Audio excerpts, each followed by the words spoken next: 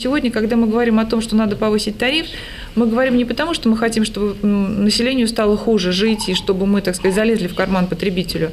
Отнюдь не поэтому. Мы как раз говорим о том, что мы должны э, поставлять воду такого качества, которую можно было бы реально потреблять из-под крана, как это делают в Европе, а это стоит некоторых денег. Э, и не потому, что мы такие жадные, а просто для сравнения. Если, например, среднеевропейский тариф на воду – это 2 евро – да, то, соответственно, наш тариф – это 10 евроцентов. Вот только об этом идет речь, что должна быть некоторая корреляция, поскольку мы пользуемся теми же расходными материалами, мы пользуемся теми же реагентами, теми же насосами. То есть вот речь только об этом. Это не жадность, это здравый смысл, который исключительно э, продиктован заботой о потребителе, не более того. Основная забота – это забота о потребителе, потому что мы не в состоянии за 2 копейки сегодня э, давать то качество, которое достойно жителя Российской Федерации. У нас есть города, территории, э, где существует достаточно приличный тариф. Э, ну, какой достаточно приличный? Есть и 30 рублей, есть и 35 э, рублей за кубический метр. То есть в этих территориях, во-первых, идет нормальное обслуживание систем водообеспечения.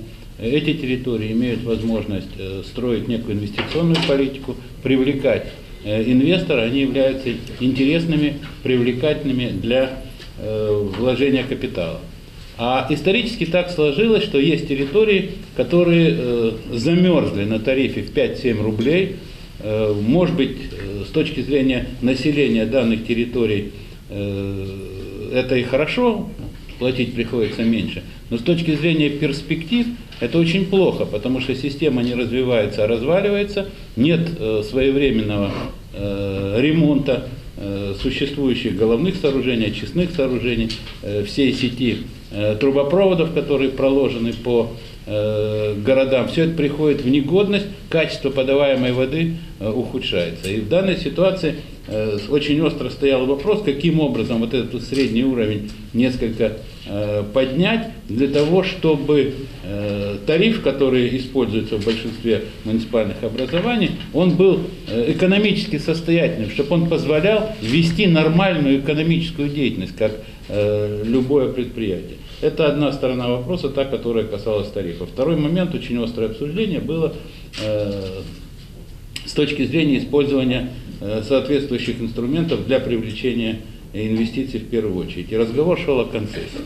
Э, здесь есть определенные вопросы, возникающие у руководителей водоканала. В первую очередь это вопросы э, связаны с тем, что в сегодняшних экономических условиях найти те структуры, которые готовы брать основные фонды в концессию и заниматься этой деятельностью – ну, прямо скажем, непросто, за исключением, опять же, некоторых городов, где э, деятельность по водоснабжению является экономически выгодной.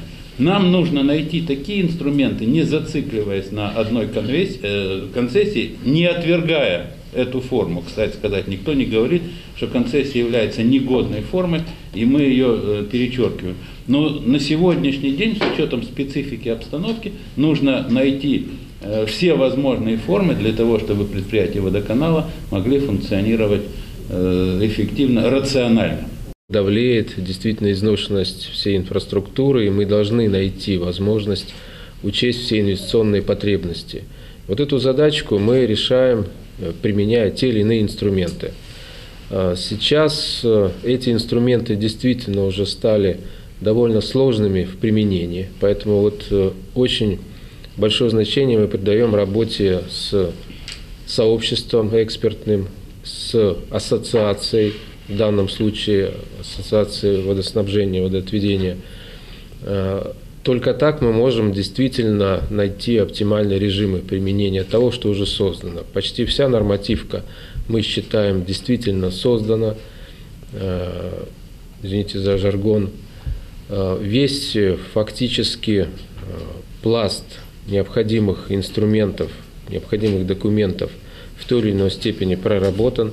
Сейчас нам надо научиться, э, учитывая все ограничения, ну, находить оптимальные э, режимы. Э, соответственно, надеемся на слаженную работу и не только действительно наших федеральных органов исполнительной власти. Мы активно действительно прорабатываем со всеми министерствами, ведомствами, но и, как я повторяю, с ассоциацией водоснабжения и водоотведения. Возглавляю комиссию палаты по местному самоуправлению, ЖКХ и социалки. Э, я беру определенную ответственность, говоря о том, что нужно повышать тарифы. Общественная палата может вызвать на себя э, целую серию неприятных разговоров, как же так, вот председатель комиссии говорит, что надо повышать тарифы. Я исхожу из того, что э, сегодняшнее э, состояние сетей водоснабжения, канализации, теплоснабжения находится в критическом состоянии. Состояние кризисное, не надо умалчивать. Когда мы говорим о том, что 70% сетей э, требуют замены, когда мы говорим, что водозаборы находятся в неудовлетворительном состоянии, очистные сооружения в неудовлетворительном состоянии, многие не отвечают тем параметрам, которые должны сегодня быть по очистке воды, то возникает вопрос, каким образом это решить? Вопрос э, может быть решен, моя точка зрения, только при изменении тарифной политики. Конечно, бедные люди не должны пострадать. Поэтому бедным людям нужно давать субсидии на компенсацию повышения тарифов. А те, которые живут нормально или обеспечены, они должны платить. Сегодня, возвращаясь к политике, мы тут все время говорим о зарубежных странах, нужно говорить о проценте, который платят за ЖКХ, за рубежом, в тариф входит, и, и которые платим мы. Конечно, мы значительно ниже платим то, о чем говорила Елена Владимировна. И сегодня говорили, Минэкономики говорила, что вот нужно, никто не говорит об эффективности.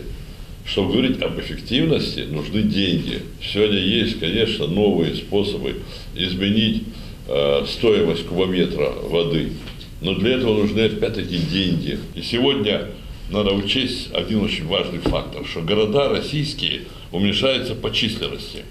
Уменьшаясь по численности, то количество воды, которое подавалось раньше, оно не нужно. Значит, надо менять водоводы и делать из трубы диаметром 1000, диаметром 500, из трубы 500 делать 300, их надо менять. Это десятки километров. Кто это сделает бесплатно? И реально государство не возьмет на себя. Поэтому с помощью вот, э, мер, которые мы предлагаем, это вполне реально. И этого не надо бояться, если мы хотим жить так, чтобы не было перебоев с водой, если мы хотим, чтобы вода была чистая, чтобы в воде не было э, то, чего не положено, там, того же железа или лишнего фтора или марганца, то э, надо менять систему. Когда мы говорим, о, как вы говорите, о повышении тарифов, мы должны ответить на вопрос, сколько надо. То есть вот с этого я начинала в начале, когда я вбрасывала э, тему для беседы. А, понимаете, в принципе, э, сколько не дай, всегда будет мало, с одной стороны. Да, денег много не бывает. Мы все это знаем, как обыватели. Чем больше даешь, тем больше хочется денег. Поэтому в данном случае мы говорим о том, что должна быть некоторая система стандартизации. О чем, это, о чем идет речь? Ну, предположим, для того, чтобы наше, э, там, скажем, сетевое хозяйство работало слаженно, нам нужно, чтобы на сетях в определенное количество, интервал времени э, была поверка. Например, раз в, ну, раз там в месяц э, сети должны проходить. Я говорю, например, там друг, другие стандартные процедуры должны быть. Если, например, сеть не прошли раз в месяц, там, да, соответственно, мы имеем э, достаточно высокую вероятность, что она разрушится, то есть у нее не было э, плановой поверки. Э, к сожалению, мы имеем такие трагические примеры, о которых все знают, вот при Брянске тогда. Это как раз та самая история, когда вот так, так называемый плановый предупредительный ремонт нельзя было выполнить за, из-за нехватки средств и стандартных процедур. А, и тогда мы говорим, что для того, чтобы э, содержать систему в надлежащем состоянии, нужно, чтобы были всегда реализованы стандартные процедуры содержания системы.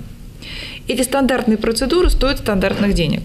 Вот сегодня ассоциация берет на себя смелость сказать, что мы хотим стандартизировать деятельность водоканалов. Мы почему сегодня говорим об отраслевом бенчмаркинге? Не надо, ну понятно, что это такое модное слово. На самом деле речь идет о э, сравнимых условиях, э, для того, чтобы можно было себя сравнивать с такими же отраслевиками и по миру, и по России. И тогда мы четко понимаем, на основе стандартизации деятельности, на основе сравнения себя с равными себе же, мы четко понимаем, что сколько нам надо – 30, 40 процентов, 20 процентов, понимаете? И вот это тоже наша задача, которую мы сегодня пытаемся решить. Мы не говорим о том, что нам надо вот очень много от этого столба и до обеда, простите за такой, так сказать, сленг, но мы точно для себя сегодня эту задачу ставим. Определить, сколько надо, каким образом к этому подступиться. И именно сегодня предлагаем вот эту систему разработать в рамках отраслевого сообщества. Мы ориентируемся на прогноз социально-экономического развития Российской Федерации на 2015 год. Э, рост тарифов на коммунальные услуги с 1 июля 2015 года, вы знаете, это рубеж очередной, в среднем по стране составит, если мы говорим о водоснабжении, ожидаем около 9,1%. По другим платежам э, еще меньше, и поэтому я могу в целом только цифру сказать. Средняя прирост платежей граждан за коммунальные услуги в среднем по стране составит 8,3%. У нас, например, цены на а, обеззараживающие, на реагенты поднялись там кратно, в 3, от 3 до 13 раз по разным регионам. Я не могу, к сожалению, сказать, в связи с чем это связано. Федеральная антимонопольная служба сейчас этим озадачена по нашей просьбе. Дело все в том, что э, такой материал расходный, как сульфат алюминия, содержит алюминий в своем составе, а алюминий у нас покупается на, так сказать, международном рынке, ну, соответственно, так же, как и продается. И вот, так как нам объясняют химики, что Значит, э, на их производство, на, на такой существенный рост повлияла, во-первых, э, цена на алюминий, во-вторых, как раз кредитные ставки, потому что у них все существенно поменялось. И таким образом, например, те реагенты, без которых мы в принципе не можем существовать, потому что мы не можем подать воду в сеть, они у нас подорожали, там, говорю, кратно. Э, соответственно, а тариф нам поменяют еще через год. Понимаете, мы имеем право изменять тариф только через год. Поэтому сейчас опять накопим убыток в связи, например, э, с, с удорожанием э, расходных материалов по обеззараживанию. У нас сульфатом алюминия пользуются только те, у кого поверхностные водозаборы, те, кто берут из поверхностных источников. Те, кто пользуется подземными источниками, их эта проблема не коснулась. Ну их коснулись другие проблемы. Поэтому, к сожалению, мне сложно сказать, у всех водоканалов по-разному, в зависимости от объема поверхностной воды. Но вообще, в принципе, э, это порядка 6-10% от общего объема затрат в водоканале, который э, использует поверхностную воду. Но это очень оценочно, я прошу меня понять, потому что точнее сказать просто невозможно. А, естественно, повысились примерно на 30% цены на трубную продукцию. А, повысились, конечно же, цены на а, ну, так сказать, на все расходные материалы, вообще какие только, ну, понятно, что просто инфляция, она съела достаточно большую часть э, того, на что мы могли рассчитывать. У нас есть переходный период, э, я имею в виду о двух субъектах, Севастополь и Республика Крым. Э, в течение этого переходного периода будет подстроена та модель регуляторики, которая э, применялась, естественно, в российское, общероссийское правовое нормативное пространство, соответственно, учитывается, естественно, опыт. И, кстати, есть интересные, э, скажем так, решения, которые мы так или иначе сейчас прорабатываем на уровне наших методик уже и будет использовано. Если будет принято, обязательно это доведем. Что касается районов, в котором мы находимся, что касается центральных районов, то, конечно, на питьевые цели воды хватит.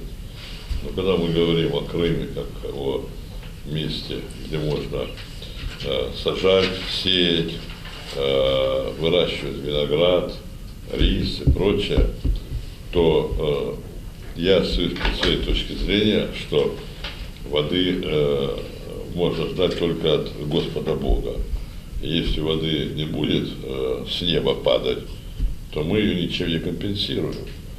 Поэтому я не хотел бы, чтобы завтра получилось, что я участвовал в этой пресс-конференции и не высказал свою точку зрения. Поэтому, будучи в прошлый раз в Крыму, я посмотрел полностью все водохранилища крымские, их э, объем, их накопление, посмотрел, что такое год безводный, э, переговорил с министрами, и написал э, свое мнение правительства России о том, что нужно искать способ договорных отношений с э, Украиной, чтобы Крымский канал не разрушался, чтобы он был задействован. То ли за счет цены на газ, то ли за счет других способов.